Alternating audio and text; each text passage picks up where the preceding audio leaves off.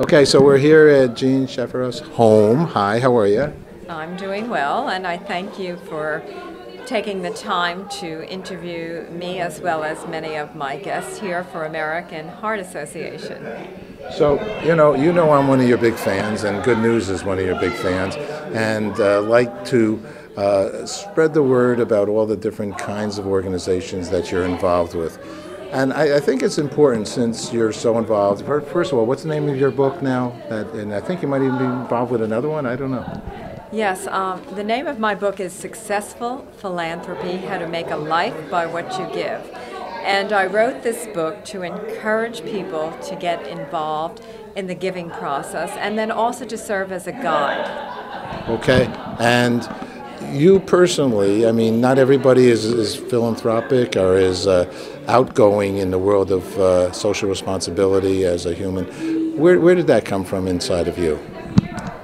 When I was young, my dad was a school teacher, and so he would come home from the school and talk about the students and how important they were to him. And I always remember that. And then I went to 12 years of Catholic school where the nuns really instilled in us the importance of caring for the underserved and then those with disability. But all religions teach uh, the importance of giving back. And um, so that was my journey. That was the beginning of my journey into the world of giving. And I'm very grateful for those that mentored me. Oh, we have nice music in the background that's uplifting. And the Heart Association, uh, learning more about how to uh, protect your heart, how to deal with it if there's problems. Um, and the American Heart Association, we've done many, many shows on good news uh, in this regard because it is a concern.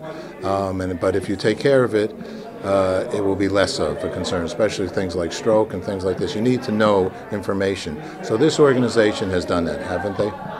The American Heart Association is probably the premier group in the United States and in the world training and helping people to learn how to care for their heart.